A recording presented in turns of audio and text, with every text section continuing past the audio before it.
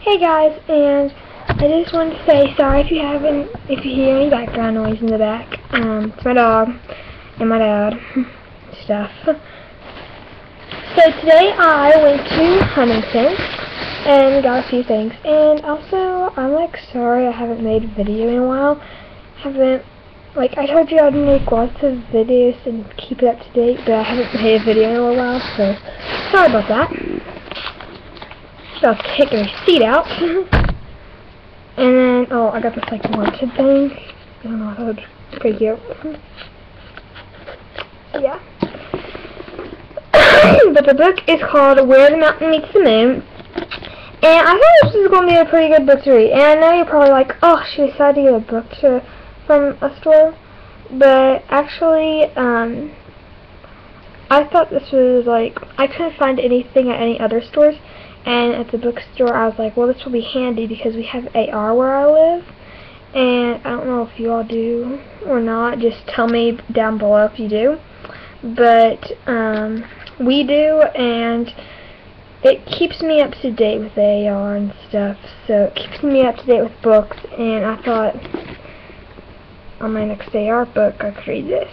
So it's called Where the Mountain Meets the Moon. And by Grace Lin. And I don't know if y'all have heard the series of this book, but I really love the series. But I love the series of the book. One of my friends read um, Starry Night Sky, I think it's called. That one, and I read the second version, I think it is. It's called Where the Mountain Meets the Moon. And so on the back, I'm just going to show you the back back, making sure to cover that up, just in case it might say where I live or something. So yeah, the back, and I'll read it to you. It says, Young Minli lives in the valley of Fruitless Mountain, where she and her parents spend the days working hard in the fields.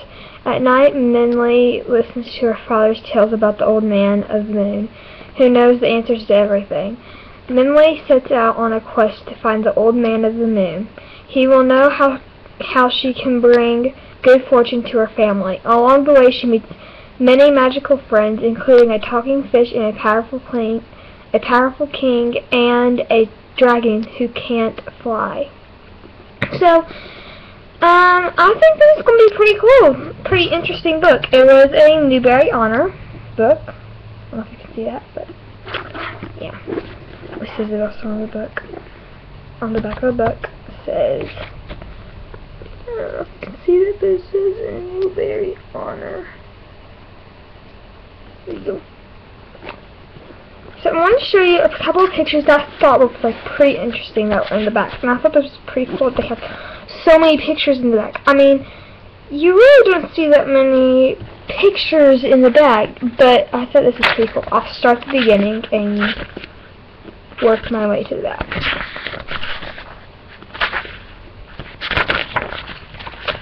It has it in the reader's guide, all these pictures.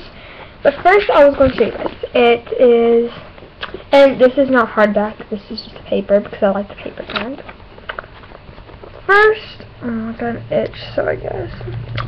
First, we have this picture, and I thought this was really pretty, really, really pretty. And I thought this was the most interesting picture ever. It's just really pretty. And I, I can't believe that they have all these pictures in the back. I mean, it's so awesome that they think that it's so important to have so many pictures in the back, even though it's a chapter book. I mean, I think that's just really important. And really cool. Then she has pictures of places that she's been. She lives in China, so she goes all kinds of places. And I think China like places, like houses, I think, like you know, places where you eat in China look like really, really neat. See this one? That one I think looks really cool. But there she is. And this one's just, I don't know what it is, just house, I guess. Then she drew a picture of her town. I thought that was really neat. Pretty neat. And she drew this. This was really pretty, I thought. It, like, has snowflakes and stuff, I think. So, yeah, it's pretty. And then, got here. I guess like a bridge that crosses over. The bridge that crosses over when she's walking on. And then over here she drew a bridge and the same thing. This is the real picture. This is the one she drew. So, or somebody drew. I don't know if it was her or not. So I thought that was really cool. This is like really cool. And I guess this is her and her mom. And it says at the end, and the rock sculptor sculptures I saw at Yuyuan Garden became inspiration for Minli's hiding place. And I guess that's something in the book, so it look she drew that. That's really cool. It's really pretty. And then there's another picture. But she didn't draw that. That's just a real picture they took. Then here's another one. It's just these little Chinese people and then that she drew and then like real Chinese people, like real sticker Chinese people, so look at that. Hopefully it's a good view guys. Sorry if it's really not a good view. That's the best I can do.